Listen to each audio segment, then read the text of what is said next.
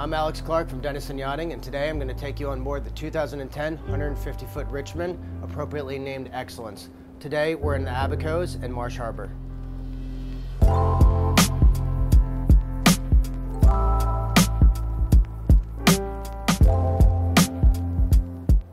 We're going to start a walkthrough of Excellence on the aft deck. You've got this beautiful built-in sitting area with high-low tables, great for having cocktails or if you want to do a little bit more formal dining. Built-in bar area with granite countertops and then easy access to your swim platform.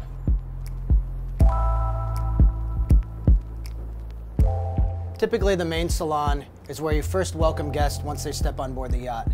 Here we are in a great open floor plan that flows nicely from the lounge area directly into the formal dining.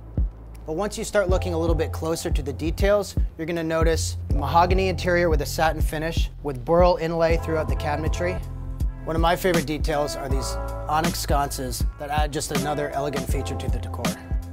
You have nice low profile furniture that doesn't block the view, leads you right into the formal dining. And if you do want a little bit of separation where the stewardesses are setting up the table for dining, you have a 42 inch plasma screen TV that pops up to give you just a little bit of separation. You've got a beautiful table here with inlaid burl wood, comfortably seats up to 12 guests, nice gold leaf accent on the ceiling, and beautiful cases to display your crystal. Just forward of the formal dining, you're gonna have direct access to the galley, which I love for silver service.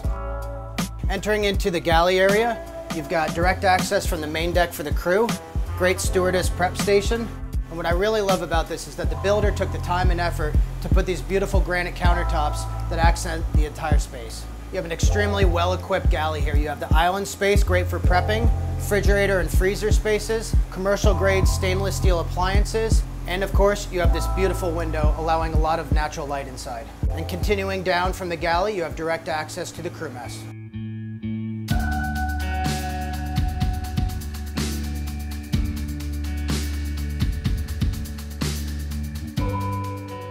We are just forward of the main salon and the guest foyer. You have direct access from the exterior of the boat. One of my favorite features on board, dual level wine storage. Continuing forward, you have day head to starboard, and then you enter into the full beam master suite.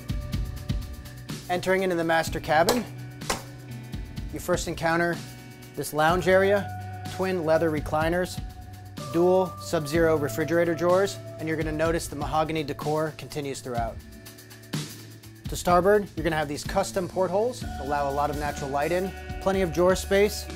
Here, opposite of the king berth, you have 46 inch plasma screen TV, walk-in cedar lined closet, beautiful vanity, and again, large custom portholes found to the port side. All the way forward of the master cabin, you have his and hers bathrooms.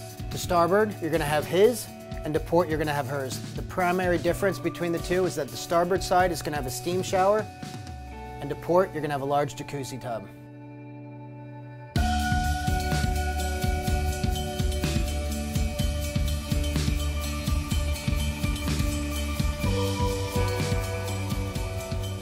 Exiting the master cabin, we're going to continue down the center spiral staircase into the guest accommodations and the main foyer. Here we are in the guest accommodations in the foyer. What you're immediately going to notice is this great space for the stewardesses that has a sink, two sub-zero refrigerator drawers, and you're going to have direct access to all four guest cabins. And of the forward two guest cabins, the starboard one is the only one with two twin beds, and the other three have queens. Here we are in one of the two aft cabins. First thing that I notice is the headroom. I'm six feet tall, so you have at least seven feet of headroom throughout. You've got a centerline queen berth, and in each ensuite guest cabin, you have Kaleidoscape on-demand movies with over 2,000 movies in the library. Of course, each guest cabin is an ensuite, but these aft two cabins have the great feature of also having a bathtub. Continuing up the central spiral staircase, we'll go from the foyer up into the Sky Lounge. Again, some very cool detail work on board the Richmond. Some of this etched glass, which actually has a chart inlaid. Here we are just forward of the Sky Lounge and what I would consider a multi-purpose space. As you can see right now, it's being used as an office. There's also a treadmill, but to me, this, is, this can be converted as a massage room or a nanny cabin or even a game room with a flat screen TV and the built-ins. One of the reasons this is my favorite space on board is that it's actually a very livable space, um, very welcoming. You've got a nice lounge area here, complete with Kaleidoscape on-demand movies, so you can watch you know, up to 2,000 movies if you like. Full service bar, again with some of the nice custom glasswork behind it. Card table over here. This is the most popular space on the interior. Here we are all the way forward on the upper deck in the wheelhouse. You have a settee here, which is a great vantage point to enjoy the view while underway. Two STIDD captain's chairs, and a very nicely laid out helm station. Six flat screen monitors, vertical windows, great visibility when underway. And to port, you have what would be considered the sixth VIP cabin, or it could also double as a captain's cabin depending on how you want to run the vessel.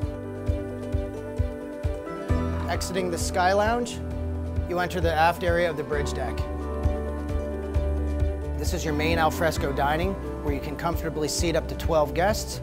And what your chef's really going to enjoy is that to starboard you have a Viking stainless steel grill. And just forward of that you have a full mini bar, flat screen TV, and then all the way aft you've got four lounge chairs complete with side tables, great for enjoying the view while underway. I think it's a great space. And of course to port you have stairs that lead down to your main deck aft or you can continue up to the sun deck. A favorite among guests and the owner, the sun deck. Back aft, you're gonna have storage for all your tenders and toys, lounge area, and once this space is entirely clear, it's actually rated for a touch and go helicopter operations, which is extremely rare for 150 footer. Again, Richmond paying attention to all the details. You've got teak decking, a lot of bright work, full service bar with a flat screen TV behind me, some bar stools, and then opposite, one of my favorite features is the day head. Continuing forward of the bar, to port and to starboard, you're gonna have identical sitting areas, great for alfresco dining. And then behind me, the highlight of the deck, the centerline eight-person hot tub, and flanked by sun pads. Heading down to the swim platform from the aft deck, the first thing that you actually notice is how large the space is, what in my opinion is probably double what you'd find on a typical 150. Uh, behind me you're probably hearing uh, the generator of the engines, and you're gonna have direct access to the engine room here, as well as two crew quarters, and you also have engine room access to the port side of the boat. Here we are entering into the engineer's control room, which is located just after the engine room.